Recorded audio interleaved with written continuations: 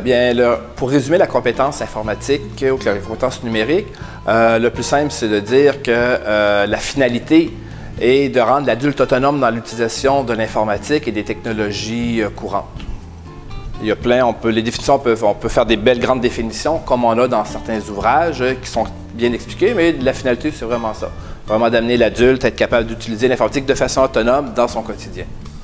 Je parle souvent d'informatique, mais par des formations professionnelles, mais il ne faut pas oublier que l'informatique, c'est pas juste un ordinateur. C'est l'ordinateur, c'est les composantes, les périphériques, c'est nos téléphones cellulaires, euh, c'est les, télécopieurs qu'on peut retrouver, on utilise moins à la maison, mais en entreprise, on a des télécopieurs, on a toutes sortes de technologies numériques. Un guichet automatique, ça fait aussi partie, pour moi, de l'informatique. C'est un grand ensemble qui englobe pas nécessairement juste euh, l'ordinateur, le traitement de texte, l'imprimante et Internet. Ça, c'est la base que tout le monde connaît, mais ça, touche à tout ce qui est technologique.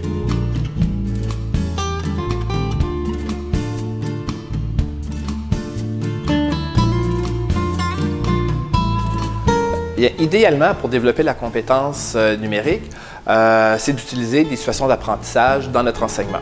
Situation d'apprentissage, c'est une mise en contexte. En informatique, ça se fait depuis longtemps. Contrairement peut-être à d'autres matières où c'est nouveau, ça fait partie justement des nouvelles méthodes, des nouveaux paradigmes d'enseignement. En informatique, on a toujours été, ou presque toujours été, en contexte. C'est la façon la plus simple de mettre nos élèves en confiance et de les mettre en situation.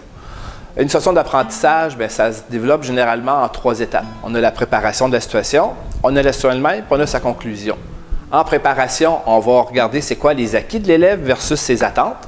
Ensuite de ça, on va regarder c'est quoi les objets d'apprentissage en fonction de, justement des acquis et des attentes qu'on a identifiés. Les objets d'apprentissage étant les notions qu'on va lui montrer.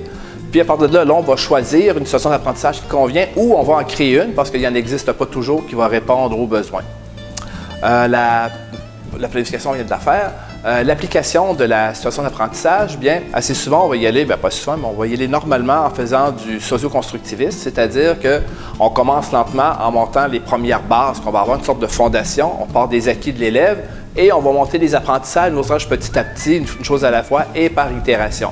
On monte un peu, on apprend de nouvelles choses, on revient un peu en arrière, on remonte, on revient en arrière. Ça fait un peu une spirale en montant, c'est ça qu'on dit en itération qu'on a des solutions d'apprentissage euh, qui permettent justement des fois de nous amener à faire des choix plus éclairés dans, notre quotidien. Comme par exemple, euh, j'ai une solution d'apprentissage qui me revient à l'esprit, qui est de, pour un élève à choisir entre deux systèmes d'exploitation.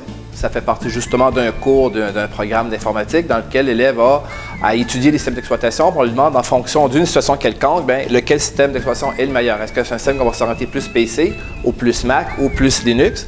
Et l'élève a à choisir le bon système d'exploitation en en, détaillant pourquoi il choisit lui en fonction de la tâche qu'il a à accomplir ou d'un métier à faire.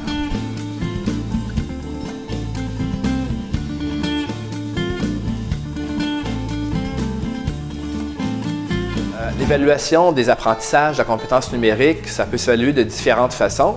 Euh, l'idéal pour évaluer euh, l'état d'avancement des compétences est d'y aller aussi par des situations d'évaluation. Si notre élève a appris par situation d'apprentissage, on est mieux de le remettre dans le même contexte pour l'évaluer pour que ce soit équitable pour lui et que ce soit aussi plus réaliste.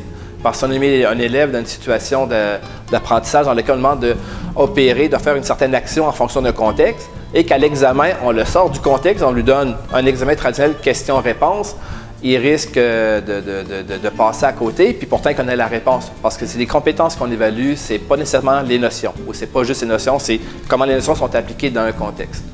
Dans le milieu du travail, l'évaluation va se faire souvent par les pairs euh, et aussi par des personnes qui sont désignées, soit des formateurs que la compagnie engage ou euh, des formateurs à former à l'interne, des personnes assez souvent qui sont plus habilitées, plus, qui ont plus de facilité informatique que les autres.